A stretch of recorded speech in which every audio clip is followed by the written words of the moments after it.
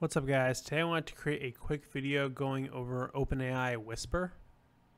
Whisper is an open source speech to text model that approaches human accuracy on the English language. However, the model also supports translation, so someone speaking French could also use this model. If you are interested in learning more about the technical details of the model, go ahead and check out the blog post. The link will be in the description. Here you can read the blog post and read the paper if you are so inclined. On the website, they have a few examples, and some of them are very, very impressive. So let's go ahead and listen to them now. Here's one with speed talking. This is the Micro Machine Man presenting the most midget miniature motorcade of micro machines. Here Each one has dramatic details, perfect trim, precision paint jobs, plus incredible micro machine pocket playsets. There's a police station, fire station, restaurant, service station, and more. Perfect. I'm sure that many of you probably missed a few words here and there.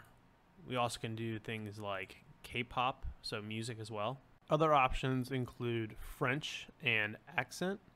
If you're interested in hearing those examples, go ahead and go to the blog. But since you're watching this video, you likely want to run this model on your own, and so let's get into that. Here we have the Git repo for OpenAI Whisper. Setting up the project is pretty easy. You just copy and paste this command here and pip install it. Uh, and if you have some issues, they also give you some insight on how to fix those issues. There are a total of nine models. There are tiny, base, small, medium, and English versions of them only, and then the multi-language versions of those, and then large only is for multi-language. Scrolling down a bit more, they have some command line usage, so you have to load in WAV files and run them, and how you can use it in Python if that interests you. But for this video, I'm going to give a demo on how to actually use the model live with a microphone. So to run the interactive demo with the microphone, go ahead and go to my Git repo, which is the Whisper Mic repo. So with regards to requirements, the model may or may not work with just a CPU only. I have not tested that. Uh, theoretically, it could work, especially for the tiny ones. But uh, I've been running it with a GPU, so I can say that if you have a GPU, it will work. With regards to actual software setup, you need to go ahead and create a virtual environment of your choice. I use Anaconda and we'll walk you through that. And then after that, you just need to run pip install -r requirements.txt and you should be good to go. In addition to some virtual environment software, you're going to need to have Git installed.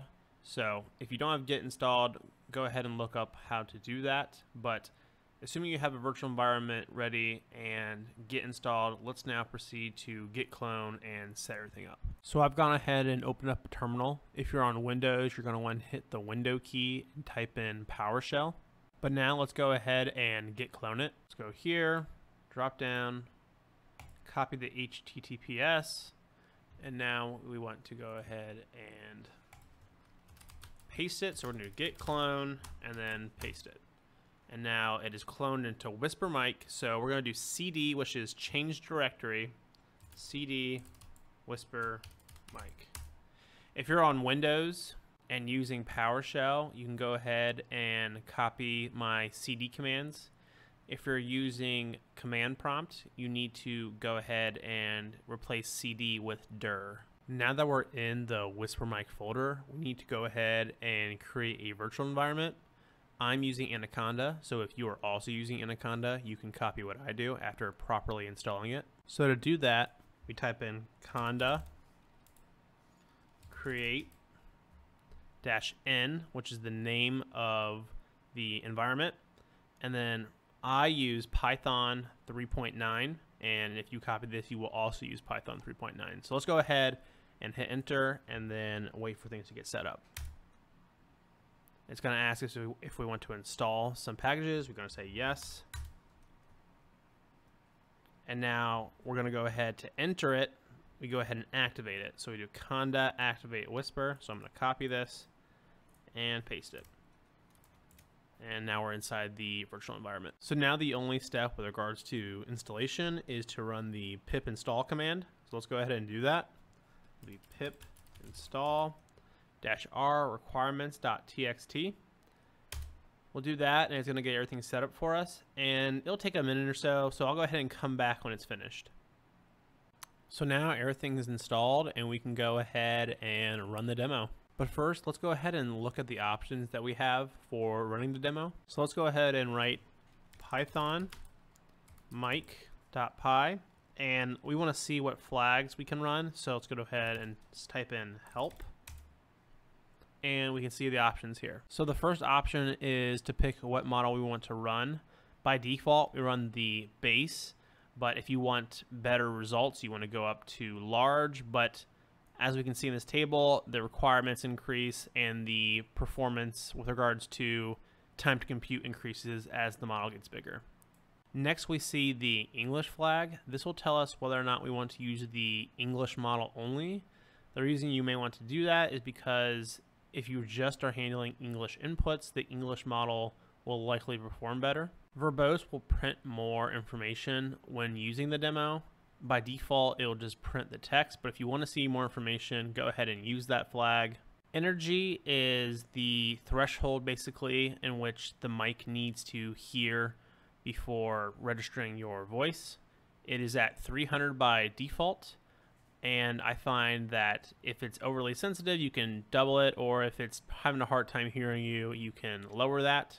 Dynamic energy dynamically adjusts the energy threshold before the program registers that you are speaking. I had issues with it, uh, but if you want it to learn roughly how loud it should be before it registers your input, you can go ahead and use that. But by default, I'd leave it to false and we just use the set energy level. Pause is how long after you stop speaking before it go ahead and processes your speech. If you may take big pauses, you may want to increase that, but by default, it's at 0.8. So now that we know what our options are with regards to the flags, let's go ahead and run it. I'm going to run it with the large model. So let's do Python mic and then we're going to do dash dash model large and uh, let's keep everything else to the default. I'll go ahead and run it again after this with verbose just to show you but let's go ahead and do this now. So it took a minute or so but now the model has loaded. If it's your first time running you'll have to download it of course but now the program should be working and we can see the transcription of our speech. So it actually recorded me speaking while I'm recording the video, so it's actually a pretty perfect demo. We see that it almost got it perfectly. You can go ahead and pause and read it if you want. But right here, first time learning, that should be using, but I think it got every other word right. And, you know, let's see what how it does here. Here, it actually got everything right except an extra U. So, great. Let's go ahead now and run it again with the large model, but with the verbose output. So this is all the potential information you could get from the model. And to do this, we will just do verbose, and let's go ahead and run it. So here we are running it with the verbose flag, and after I stop speaking, let's see what it said. So here we can see the text like we did before, but we also can see things like segments, which if using in a WAV file rather than using a microphone, would be very exciting because you could see that someone said, you know, sentence one between five seconds and 10 seconds, and they said sentence two between 13 seconds and 18 seconds. And using that, you could tie information from, say, a video, the audio of the video, and use that in video analysis, which for me is why I'm really excited about this model, but I just wanted to point that out. There's also a whole bunch of information such as tokens, um, and other information you can read more about if that interests you. This longer output just recorded what I spoke, and in fact, you can kind of see what I was saying with the segments here. It's a, a jarbled mess right now, but if you go ahead and pause and take a look, you can see that it's broken up by segments, and you can see that there's different starts and end times. I obviously spoke for longer than six seconds. So there's a whole bunch of those and that is uh, very exciting. Last thing I want to do is go ahead and just show you how much VRAM I'm using. So on my 3090, I'm using almost 12 gigabytes of VRAM. So keep that in mind when you're trying to pick which model size to run. It runs very quickly, so I have no complaints on that on my 3090, but I just wanted to show that. So I just wanted to briefly comment on the potential uses of this.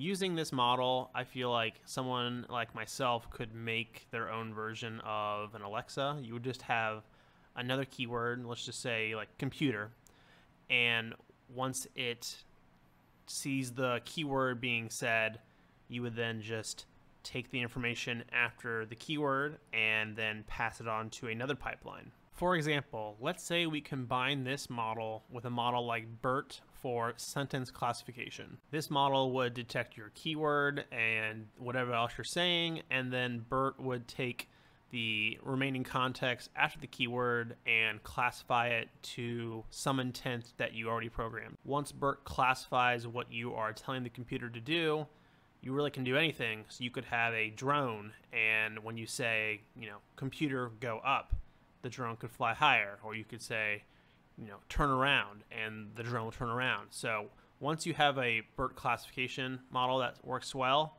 you can do pretty much anything with your voice now, which is pretty exciting. At this point, I'm going to end today's video. If you like the video, please consider leaving a like. If you like this kind of content, please consider subscribing. For chats about technology as well as technical help, consider joining the Discord. If you would like to work with me on a project using this new model, feel free to contact me through my email or my website. Thank you so much for watching, and please have a great day.